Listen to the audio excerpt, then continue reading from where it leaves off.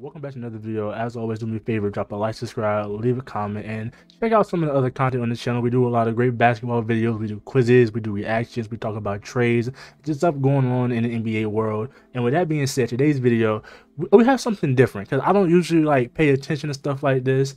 But Jerry West, out of all people, and JJ Redick are having a disagreement. Now, if you don't know, JJ Redick uh, has been saying stuff about uh, the players in like the 50s and 60s and how like they were plumbers and stuff like that, and, and the level of competition wasn't the same. And Jerry West, as a person that played in that era, kind of said some things that he was clapping back at JJ Redick. So we will come here, we're gonna check it out, and I hope y'all enjoyed this. So let's hop straight into the video. All right, so here's the clip. It's only about two minutes long, so it shouldn't be like too crazy. But this is an interview. I guess he was on like some radio show and he was asked about what JJ Redick had said. Because, like I said, JJ Redick has been uh, one of the main people that was uh, comparing uh, levels, well, competition in different generations. Now, do I agree or disagree with what was being said? Like, I disagree with uh, JJ's Redick uh, like comparing different generations because I don't think you should do that because like you can never truly find out like who would strive and what era. But then again, back back in uh back in that era, NBA players did have other jobs. So was JJ so like, what was JJ Redick saying? Was that really like anything bad? Well, Jerry West thought it was. So let's see what he got to say. JJ Redick, current player who just recently retired, said that Bob Cousy played against uh, firemen and, and, plumbers, and Bob came on and well, he did. Pleased, and you know, you you played in that era, and those guys set the table for us uh, to be where we are today. And I was just interested in your thoughts on on comments like that about your generation and the generations that that paved the way. Well, like Jerry was like, like, bro, are you serious right now? That's what he looking like right now. Um, obviously, the game is completely different. The athletes are completely different. And I know JJ uh, just a little bit. He's a very smart kid and everything. But tell me what his career looked like. Ooh.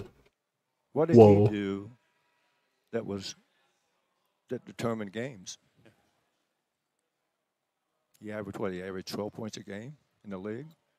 Dang, that's crazy. What did JJ average? Somewhere along the way, numbers count. At that point in time, the players aren't what they used to be. Um,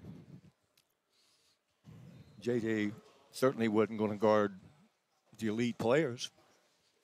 And so you can nitpick anyone. And I'm, I'm, not, the only reason I'm talking about him is because he was not an elite player, but he was a very good player. But he had a place on the team because of his ability to shoot the ball. Okay. But, uh, those players at that era, and, and again, that was when I started to see the, the difference in athleticism um, you know, my era, I was an athlete way before my time. I had a huge vertical. Um, and like that's one thing I always said. Like I said it in, the beginning, but it's like you can't really compare eras because as you understand at the time, those players were like the peak athleticism is like those were like the best of the best players well considered the best of the best uh in terms of like athletes at the time so you can't really compare it like you never know like how they might do in this gen i mean in this uh generation or in this era it's like you just can't do it probably no one in the league was was much faster than me and certainly the competitive part of it i would put my myself among any player that played the game today also. Winning is all that matter. That's what drove me. And I subtly got better every year. We didn't have the facilities to get better. We had to work in the summers to support our family. But JJ should be very thankful that he's made as much money as he's made. And Bob Cousy, who I played against a couple of years, not very long, um, I just think it's very disrespectful myself.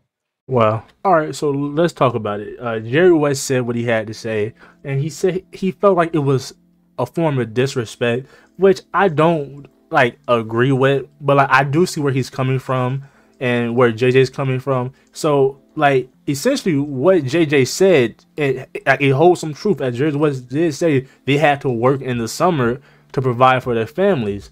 But at the same time, I I disagree with JJ in that like you can't really uh like compare eras or cross people with different eras because like I'm a bit advocate of that because I like in all these debates about like uh, uh, uh, like how what player would play in this era and like how would they do and stuff like that. I just don't think it's true because I agree that JJ was right. These people were playing like like they were part-time basketball players. They had to support their families. Like they literally had to go be firemen and plumbers and stuff like that. So what so what JJ said like it literally holds some truth. But I see where Jerry West is coming from because like as a person like him that played in that era, it's like you can't tell him that like and like you can't say it wasn't due to the lack of ability. If you understand at the time, these players were considered the best of the best. But comparing players in the modern era uh, to players from back then who had who, who were part-time basketball players versus players who literally like their whole life is basketball you can conclude and just like you can like come up with the fact that modern era players are more likely to reach their potential which will cause them to be better than players that did play and had to work other jobs and stuff like that. But then again i'm not really picking sides here because I, like I said, I do disagree with comparing eras and players and stuff like that. But at the same time, there it like it, it holds some truth. What JJ said, it did hold some truth. But anyway, uh, y'all let me know or like y'all opinion on all this because like again, it's really a pointless argument because like who really cares at the end of the day? But uh, like y'all let me know in the comments uh, what y'all got to think. And with that being said, drop a like, subscribe, leave a comment. I'm gonna catch this video. We out of here. Peace.